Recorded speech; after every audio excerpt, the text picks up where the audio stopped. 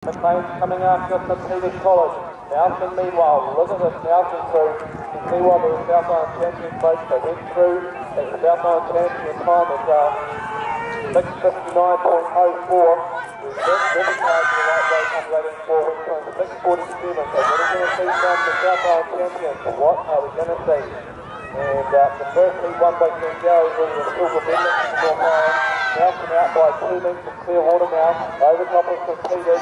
But they're cleaning up to the third minute from Andrews. Desperately trying to the train.